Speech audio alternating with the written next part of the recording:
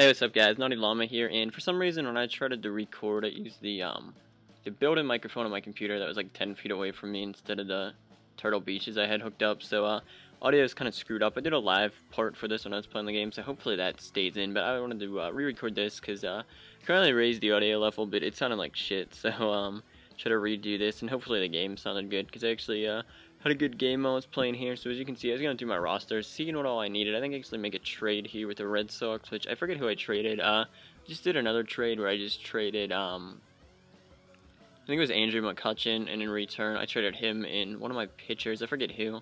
And in return, I got uh, Jose Bautista, um, another really good starting pitcher, in uh, Colby Rasmus. So um, it was pretty good here. And then I think I trade, I forget who I trade. Let me see once I get into it here. Um, yeah, I did all this live, so it kind of sucks when um it was like synced up perfectly because I did it live, and then and it just sucks when um my computer decided to be gay and not work. But let me see who I trade. I think I traded Jose Tabata for um.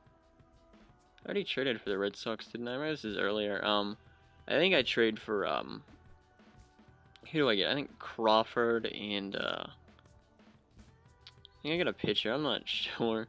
Yeah, it's really sucks to get Bard, which uh, he's a pretty good pitcher. I didn't know they brought Bard up as a starting pitcher this year because uh, he was always a good reliever. But um, I don't know if the Sox using him as a starter this year or not. But they have kind of a loaded pitching staff. They've got um, Lackey, who I don't know, he's still kind of decent. They got him in the fifth spot, and then they got um, Matsuzaka, who I think he's injured right now, but he's still pretty good. And then yeah, I get a reliever too. I get McClan, Melancon, however you pronounce his name. I get that dude too. Um, I think he was the uh, closer in Houston last year, so that helped my team out a little bit here.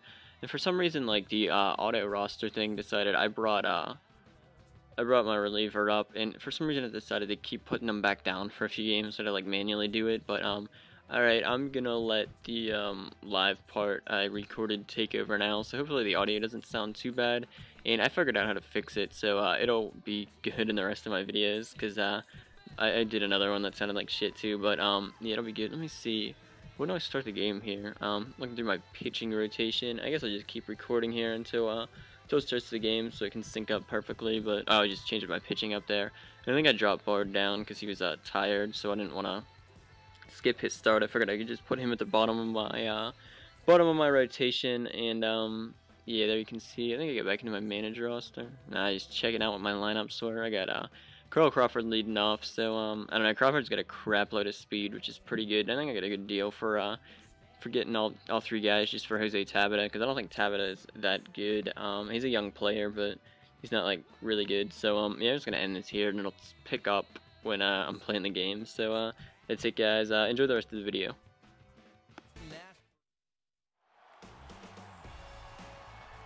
We've got baseball for you this evening in the desert southwest. Chase Field in Phoenix is the site for this edition of Major League Baseball presented by the show.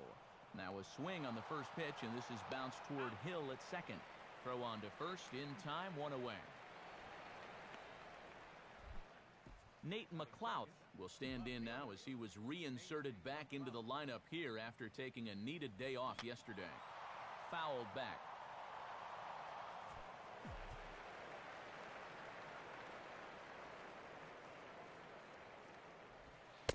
Fastball, and he's quickly in the hole 0-2.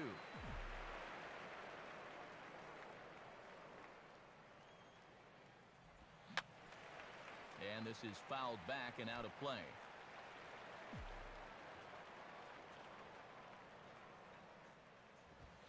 Boy, tough to lay off, but he's glad he did. It's one and two now.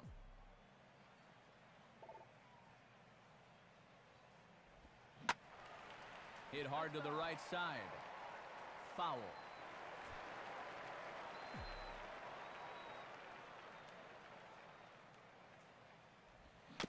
And he'll fight just to stay alive here as this is fouled away.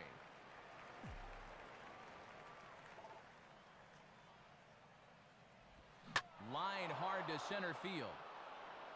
But sadly for him, this will head straight to the center fielder as he puts it away without much trouble for the second out. Andrew McCutchen will stand in now. He homered in the ball game yesterday afternoon.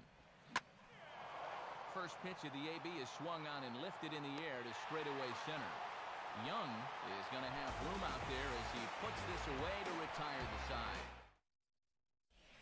A look there at the starting lineup for the host Diamondbacks now, brought to us again by State Farm. Aaron Hill will step in now to lead things off in the home half of the first. Ball one. Now a ball lined toward right center. And Hill's going to reach. It's a base hit.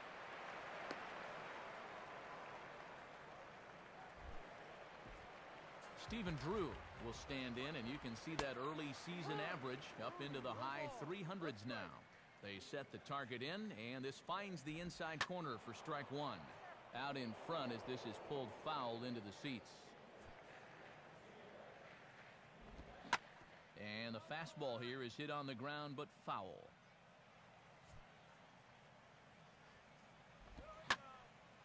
Line to the right side. But a foul ball. And boy, what a battle brewing here as he fouls yet another pitch into the seats. Still stuck on 0-2. Oh, and he's waiting on the fastball that time as he belts one high and deep to right center. And that just misses the pool as it's off the wall. Not in time, and he's in there with a double. And the opening salvo is fired here as they take a 1 to nothing lead. Justin Upton will dig in now, and as you can see, he's well over 300 here to start this new campaign. And Walker's throw is right there for route number one. Chris Young will stride in now. A couple of hits for him in four trips in yesterday's ball game. Watches a fastball right there for strike one. In the air to center.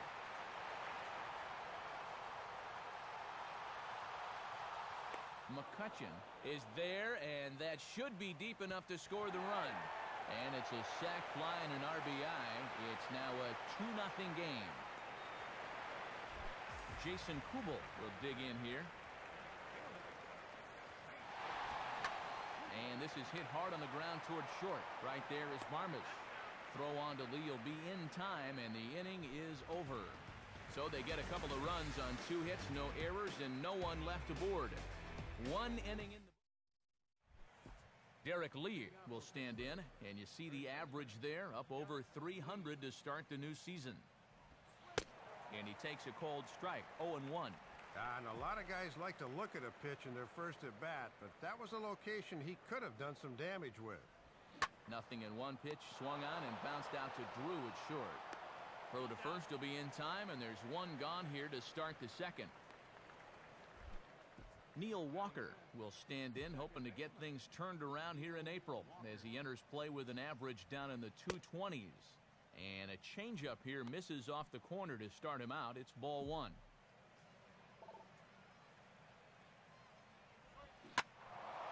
Now he spins on a fastball here and drives one to deep right field. And that is over the wall.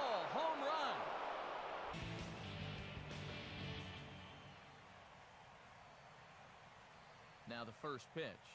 A fastball off the plate away. It's ball one. And he's looking to pick up save number six on the year if he in fact can close this one out. And Hill able to lay off again. It's 2-0 now. Now a swing, and he just fouls this one away. And he's fallen behind now, 3 and one. Bases are empty here with two men out. Now here's a swing and a ball hit well out there toward right center. He's going to put this one away, and the Pirates have taken game one of the series on the road as the ball game is over. The offensive star of the night for the Bucks, well, it was this guy right here. Neil Walker, picture perfect there. He's our top player of the game. Yeah, a couple of home runs in a ball game is pretty special. You could tell he was really dialed in up there, and he had a whale of a game. So that'll wrap things up here tonight. For Dave Campbell, Eric Karros, and our entire crew, I'm Matt Vasgersian. This has been a presentation of MLB 12 The Show. For even more, join us on the web at theshownation.com. The Pirates win it 4 to 2. Post game highlights come your way next. Now, for all of us at the show, good night from Phoenix.